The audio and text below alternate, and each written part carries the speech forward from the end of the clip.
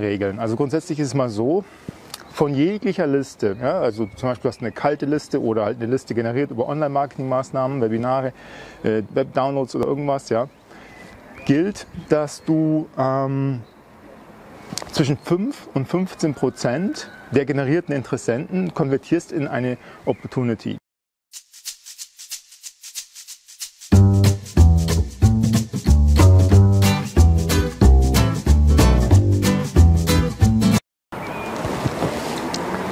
Klasse oder Masse?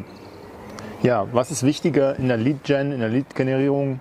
B2B, Klasse oder Masse? Und ähm, ich hatte immer wieder mal Kampagnen in der Vergangenheit, wo da auch sehr sprunghaft immer wieder Verwirrung ähm, herrschte und auch gestiftet wurde.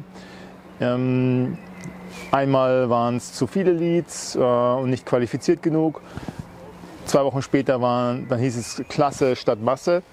Und äh, zwei Wochen später waren es dann wieder zu wenige Leads. Und dann hieß es, naja, da ist aber vor einem Monat viel, viel mehr rausgekommen. Ja, und so weiter und so fort. Und hier mal dieses Video habe ich mich dazu entschieden, es mal zu machen, um hier mal ein bisschen Klarheit für all diejenigen ähm, zu bringen, die hier sich häufig dieselbe Frage stellen, was ist jetzt wichtiger, Klasse oder Masse in der Lead Gen? Und Hierzu mal dieses Szenario.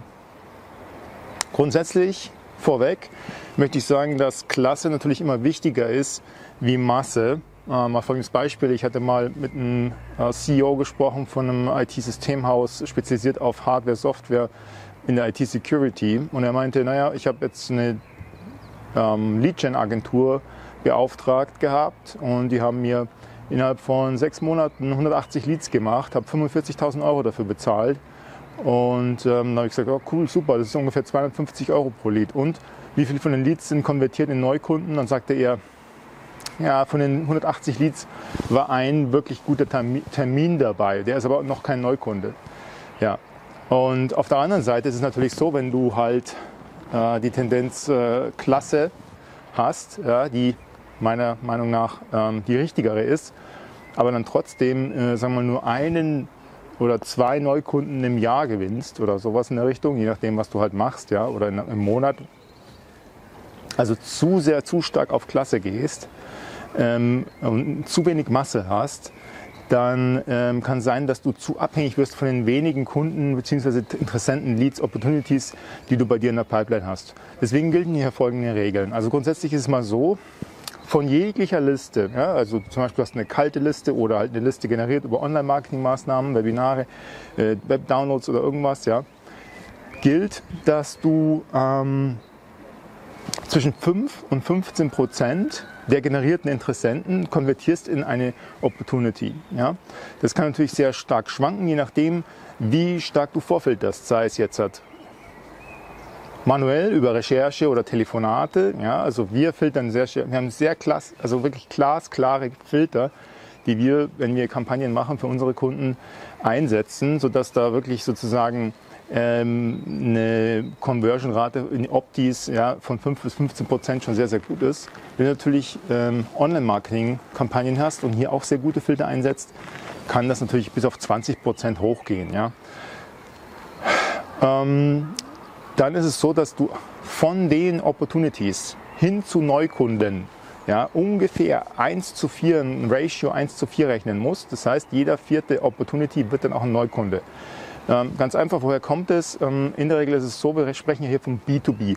B2B geht fast ausschließlich nur über Ausschreibungen und sogenanntes Shortlisting. Also das heißt, also es werden verschiedene Aus, äh, so, ähm, Lösungen im Markt sondiert, wird eine Shortlist gebildet und von dieser Shortlist wird, wird dann sozusagen jede Firma eingeladen, die darf dann pitchen, einmal und mehrmals. Und dann wird die Entscheidung getroffen, meistens dann nochmal Shortlist nochmal kürzer gemacht auf die letzten zwei oder drei in die allerletzte Runde und dann wird nochmal entschieden zwischen den letzten zwei oder drei ähm, Anbietern, Angeboten.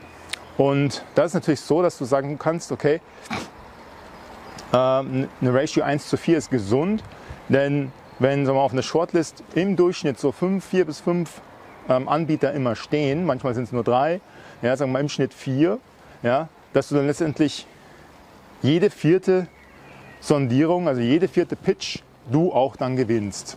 Ja?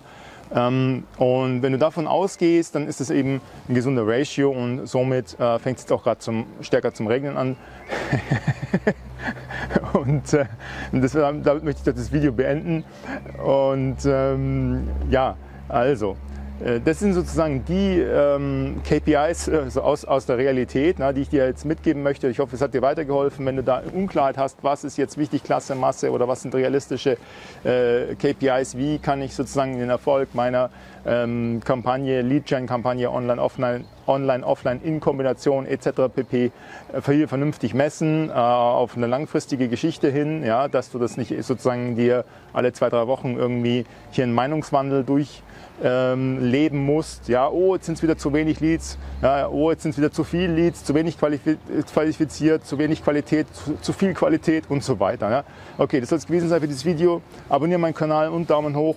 Und hier unten schau mal vorbei bei meinen kostenlosen äh, Videoserien. Ja. Und natürlich auch bei, mein, bei, meiner bezahlten Akademie, denn ich muss ja auch von was leben. Ja. Oder halt Einzelcoachings, ja, biete ich auch an. Äh, nicht sehr viele, aber habe nicht so viel Zeit.